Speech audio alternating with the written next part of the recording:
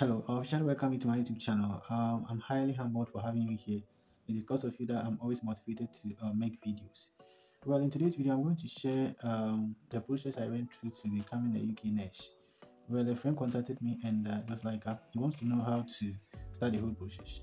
And uh, I believe that uh, this is going to be very, very informative, especially if you're a Ghanaian nurse and uh, you're watching this video and it's your dream of becoming a nurse abroad.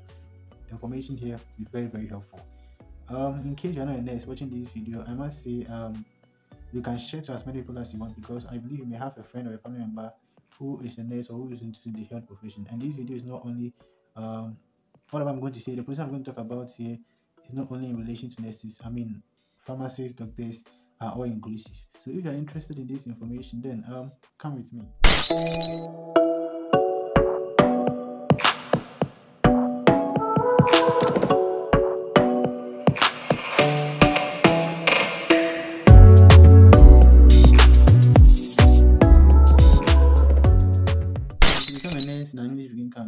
required to go through um, some processes. And uh, I'll say there are about five or six of them. This video, I'm going to dwell much on the foundation, on the basic one, or the first one you have to um, um do. I mean, that is the start of it all. When you are able to um, establish that, you should be rest assured that um, the rest are, are perfectly in place. Yeah. So the first process has to do with IELTS. You may have heard of this before, or you may not have. But I want to let you know that IELTS is the first requirement if you want to work as a nurse in a professional organization in the UK, um, Canada, USA, Australia, Northern Ireland. Yes. Um, one may ask, what is IELTS? IELTS is an international, uh, an international English language um, test, and uh, um, it actually stands for International English Language Testing System. That is why we have the short form as IELTS. Yeah, this test is to actually um, measure your English proficiency and uh, anyone who wants to work with a hospital in the, let's say the UK, um, Australia, or whatsoever is required to sit for these exams.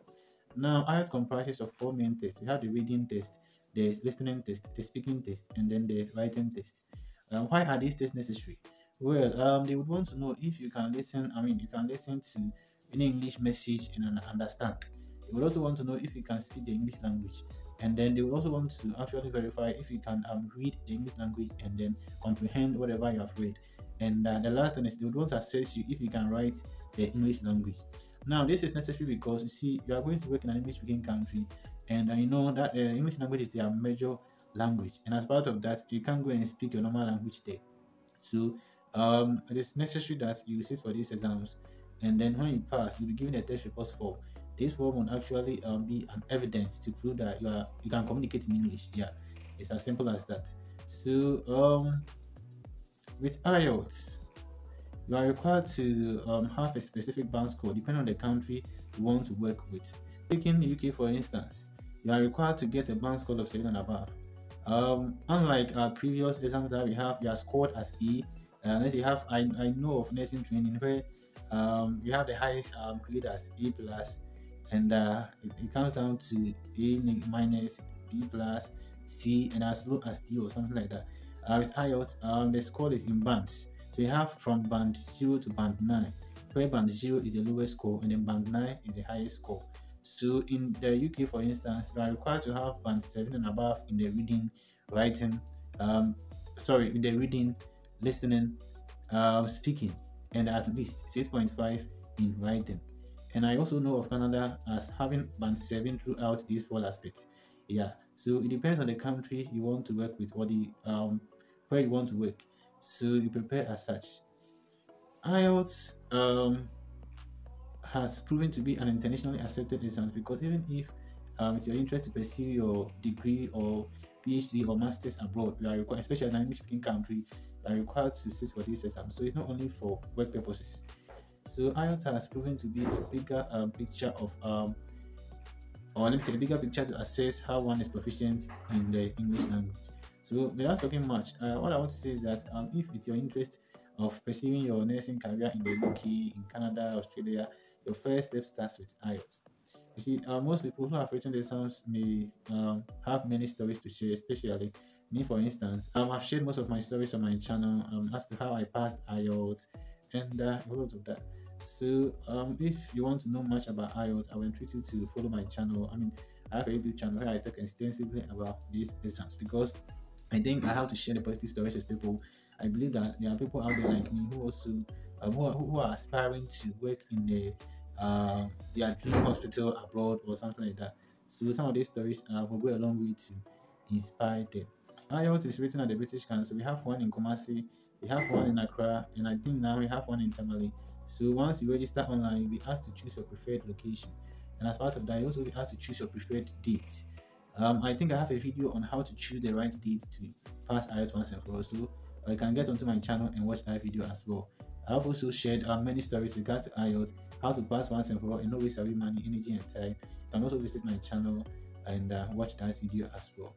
So now, when you pass IELTS, um, when you write IELTS, uh, what happens is that your results is supposed to be ready within a two weeks time. I mean, it, it should be um 13 days or yeah, two weeks time, probably. Now, when your results is ready and uh, you have passed, what this means is that um you'll be given a test report form, and uh, it's the proof or an evidence that um you are good at English language. So, as a nurse, I mean, as a Ghanaian nurse, all you have to do is that you have to register with the UK NMC. Now, registering with the UK NMC is not a very difficult thing. Um, all you have to do is to go online. I mean, you have the uh, www.uk um, UKNMC. I mean, it's something like that. I would I search for it and then I can make a video about it. So um, expect that. If you're interested in that, um, leave a comment in the comment box below. Yeah. So you have to register with the um, UK NMC. So now with the registration, they will require you to upload your IELTS results, which is the test report form. And uh, um, bear in mind, you can only upload the results when you have actually attained the right band score. Okay, so UK require a band score of seven and above in reading, listening, speaking, and 6.5 and above in writing. So take note. So you upload your test report form, which is the IELTS, and then they also ask you to upload your um, Ghana NMC um, registered nurse certificate. In addition, you'll be asked to um, upload a police clearance form. So once you have uploaded your IELTS, your nursing certificate, uh, Ghana NMC nursing certificate, and then police clearance, and I think there's another document. I've forgotten about that. I think I'll make an extensive video about this process. Yeah. Uh, once you are done with that, um, you just have to submit, and uh, the UK NMC will contact Ghana NMC to verify if you are indeed a nurse. So now when you upload your document to the UKNMC, um, they will send you a message, I think an email, and uh, they will taking you through the next process you have to take. Here, they will require that you um, get in touch with your uh, home NMC. So for instance, Ghana NMC, and I have to get a clearance form from the Ministry of Health. I think now the process is changing. I'll look into that and then make a separate video about it. You have to get a clearance form from the uh, Ministry of Health, and uh, on this form, I think there are three things you have to do. For me, I yeah, we have the personal details where you have to fill your name, your telephone number, email, and other details that pertains to you. And then we have a column where you have to um, give out to, let's say your um, your employer or probably where you work, and uh, the nursing manager or whoever you think is in charge of the place will have to also fill um, her column. Now, when that is done, you have to take um, there's a portion for your school principal to also fill. You have to also take it to your school to have that done. Now, um, when you have filled all the columns, you have to submit the form to the Ministry of Health for endorsement. The requirement is very necessary because they would want to know if you have probably saved all the three or four years of bond um, per the allowance um, you received. When the endorsement has been done at the Ministry of Health, what happens is that um, you'll be asked to take it to Ghana NMC. Yeah, and uh, um, for the verification to be done, I mean, when I say the verification, what I'm trying to mean is that for Ghana NMC to say yes to UK NMC that you are indeed a nurse, you have to pay a fee.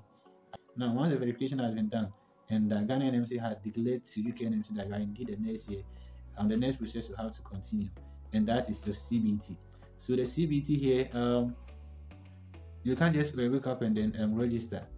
The UKNMC um, will have to link you to a company called Persinfo. Now, Persinfo would um, actually create an account for you, send it to you through your email, and then they'll ask you to register for these exams. So in Ghana, um, CBT is written at the um, total it's the total house yeah it's close to um it, it, it i think it's close to the Mövenpick hotel and also close to the british council yeah area um yeah so you can register online or you can go to the police and then do the registration um i won't even talk much about this uh, exams because it's a failed exam i mean it's something that pertains to nursing yeah so it will only be it's, it, i think it's multiple choice question and now i think they are going to review it um, the structure or the mode with which the questions come would change. It was a mixture of um, dry calculations. Um, I mean, many questions that pertains to um, the field of work. I mean, nursing. Yeah. So I'll also look into that and make a separate video about how the CBT is. Now, once you have cleared your CBT, the person will actually um, inform UKNMC that you have passed to CBT. And then uh, another important thing I would want to let you know is that once you register with the UKNMC, they will create a dashboard for you. Now, the dashboard consists of all the processes you have to go through to finally become a nurse in the UK. Yeah. So once a process on the dashboard is completed, you will see a tick, a green uh, mark there, meaning that it has actually been done. With this, you'll be able to monitor the progress of your process. Simply put, or summarizing what I have said, the first process you need to um, actually start your journey of becoming a registered nurse in the UK is to write IELTS. Now, the second thing is to um, register with UKNMC after you have passed IELTS. Now, the third thing is for the UKNMC to make verifications um, from Ghana NMC. Now, when you are fully content with that, they will link you to our person for you to write CBT, which is not very difficult.